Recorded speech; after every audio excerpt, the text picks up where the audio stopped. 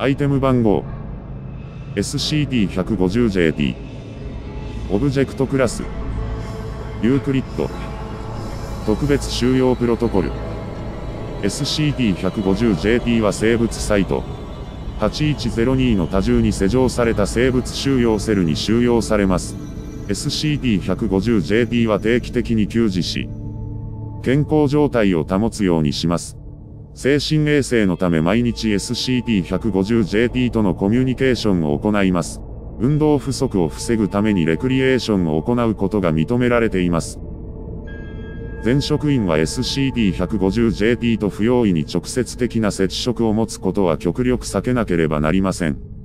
SCD-150JT の行動はすべてその特性を無視できるような状態で間接的に監視します。SCD-150JT に関与するすべての人員または物体は、最長1時間ごとには SCD-150JT の影響を受けていないことを確認します。SCD-150JT の実験は3人以上のクリアランスレベル4以上の職員の許可が必要です。SCD-150JT と確実なコミュニケーションを取るために、B クラス職員の直接接触及び一時的な価値の交換が推奨されます。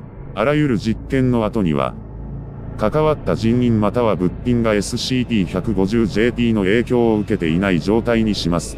もしも SCD-150JT の影響を受けていた場合は SCD-150JT にそれを元に戻させ、それに応じない場合には SCD-150JT 責任者の裁量により SCD-150JT の削除が行われます。外部で SCD-150JT に類似する個体を発見した場合、速やかに捕獲、収容します。また周辺に影響を受けた物体があれば同じく収容し、問題がなければ影響を取り除いた後に解放します。SCD-150JT の性質に気づいた民間人にはクラス C 記憶処理を施します。説明。SCD-150JT は特殊な力を有する一匹の銀狐の個体です。野生の狐の個体より体格が小さく犬によく似ています。人間が近づいても逃げない。顔の前に手を出しても噛もうとしないなど、非常に人間に慣れた振る舞いをします。右耳の内側に、MFXY58425 の白色の烙印が押されています。これらの状況から、SCD-150JT は収容以前は何者かにより集団で飼育されていた可能性が高いと考えられます。SCD-150JT の特殊な能力は、任意の2つの対象の価値を交換するというものです。ここで記述する価値とは物体が他の物体に作用するあり方のことです。価値が交換された対象は、もう一方の対象であるかのように存在し他の物体に作用するようになります。この効果は永続し、現在のところ SCD-150JT が再び価値を交換する以外の元に戻す方法は見つかっていません。この能力は SCD-150JT に直接的にさらされた対象にのみ働くため、SCD-150JT との直接接触を避けることがその影響を受けない方法として有効です。価値が交換された対象を元の対象として観測するには、映像にいくつかのフィルターをかけるか、あるいは、狐の窓、と呼ばれる手で作った穴を通して見ること、視覚に限られる、により可能になります。後者の方法は SCD-150JT の影響を受けた物体を見分ける即席かつ効果的な方法として推奨されます。SCD-150JT はその能力を自身に適用することが可能です。SCD-150JT が自身の価値を人間と入れ替えた場合、それはまるで人間のように振る舞い、人語を理解し話すことが可能になります。会話はたどたどしく、人間の子供程度かそれ以下の低い知性を見せています。自身の欲求に非常に忠実で、複雑な思考能力があるとは考えられていません。また長期的な記憶もあまりできないことが実験により分かっています。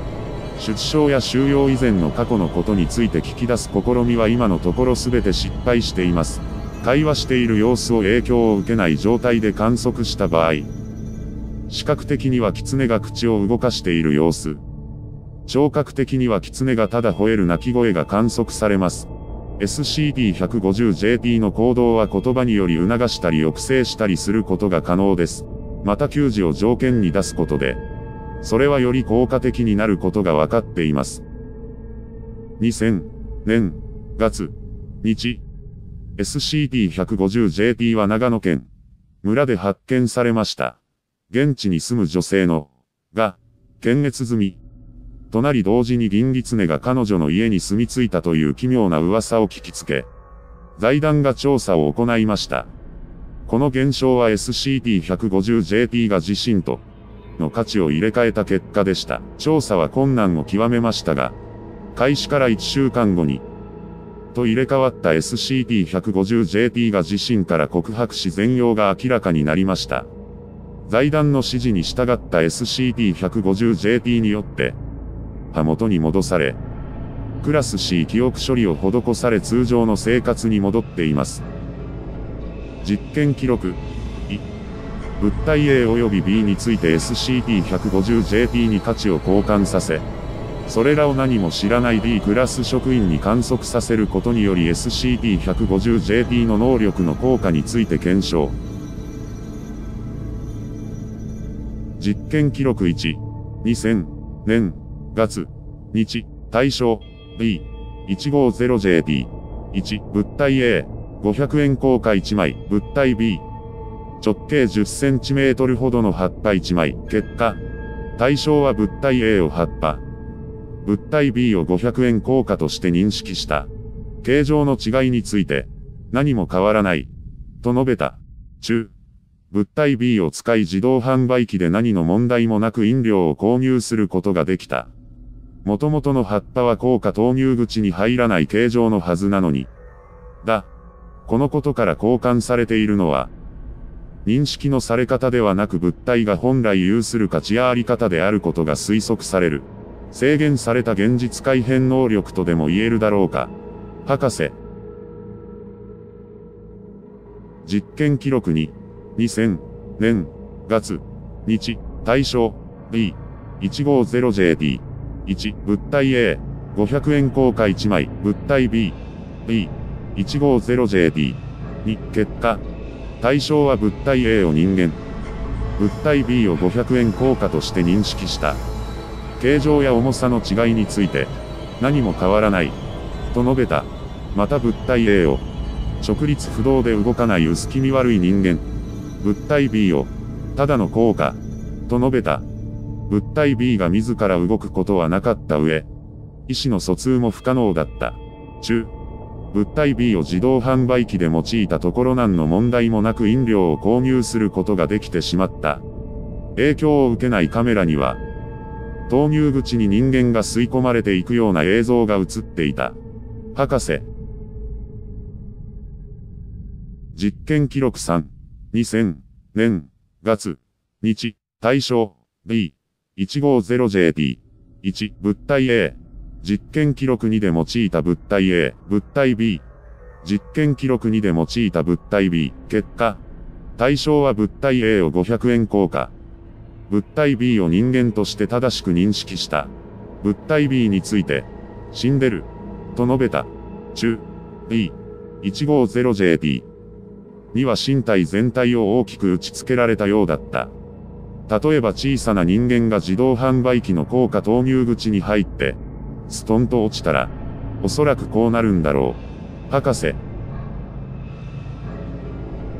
実験記録4、2000年月日対象 B150JD 3あらかじめ B150JD 4と B 150JD。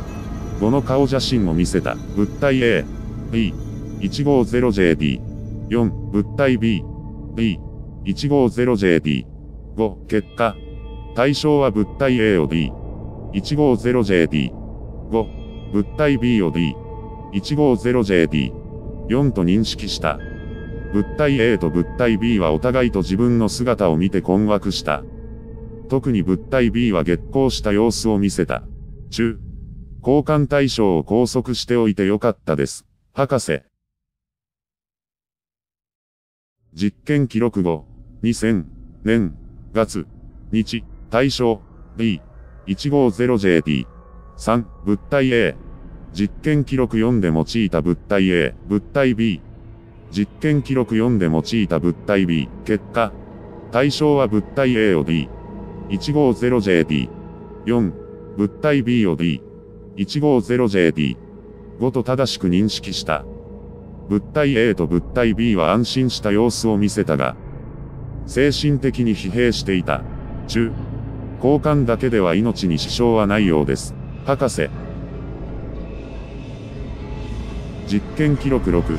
2000年月日対象 B150JT6 物体 A 未開封の 500ml ペットボトルに入った水物体 B B150JT 7、結果。対象は物体 A を人間。物体 B を未開封の 500ml ペットボトルに入った水と認識した。また物体 A を、動かない人間。と述べた。対象にペットボトルを開けさせたところ、誤って落としてしまった。水は対象の衣服にかかりまたは床にこぼれ。回収した分を合わせて容積は 200ml しか残らなかった。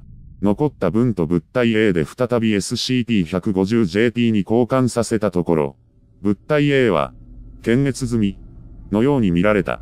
中、物体が液体でも可能であることは分かりました。気体についてはできたとしても元に戻す術がないことは確かめなくても十分わかるでしょう。人間を用いた実験は何か新しい発見でもない限り禁止とします。博士。ほい。ろ。SCP-150JT は収容初期の2000年月日に脱走を試みています。職員が給仕する際に給仕用の扉を開錠したところ、出入り口の扉が開きました。その隙に SCP-150JT は生物収容セルを抜け出し、生物サイト8102を逃走しました。この現象の原因は SCD-150JD があらかじめで入り口の扉と給仕用の扉の鍵の価値を入れ替えていたためだと判明しています。また、これにより SCD-150JD の収容扉は多重のロックをするものに特別収容プロトコルが改定されました。SCD-150JD は逃走中に複数の廊下や扉の価値を入れ替え、博士の自室の扉がトイレにつながる。エレベーターの2階と3階の順番が入れ替わるなどの現象を引き起こしました。脱走から3時間後、職員の起点により餌を使った即席の罠が作られ、SCP-150JT は捕獲されました。後に SCP-150JT は服従の意思を見せ、生物サイト8102は元通りになっています。インタビュー記録。は。SCP-150JT に D クラス職員を与え、人間に入れ替わらせてインタビューを行った最初の記録です。D クラス職員が不用意な行動に出ないように。まず D クラス職員を他の不動の物体。ここではゴム製のボールを用いた。と入れ替えさせ、その後に SCP-150JT が D クラス職員の価値を得るように入れ替えさせた。後に D クラス職員には記憶処理を施し解雇した。対象 SCP-150JT B150JT 1と入れ替わっている。インタビュアー、博士。録音開始。2000年月日。おはよう、150。おはよう。このインタビューが終われば朝食を出しましょう。まず、あなたはいつ自分がそのような力を持っていることに気づきましたか？お腹すいた。150。質問に答えてください。生まれた時から。では、あなたはどこで育ちましたか？檻の中。もう少し詳しく。今よりずっと狭いところ。誰に育てられたか、ということはわかりますか？人間。質問を変えましょう。以前あなたは人間と入れ替わっていましたが、どうしてですか？喋れるから、前は喋っても、わからなかった。つまらなかった。ふむ。では、なぜ彼女を選んだのですか？知らない。森の中にいた。中、被害者の女性。はその日に自宅近くの森へ行っていたことが証言から判明している。あなたはどうして森の中にいたのですか？檻の中から出たら、森だった。それは、逃げ出したということですか？逃げてやった。経緯についてはわかりました。では、どうして我々にそのことを白状したのですか？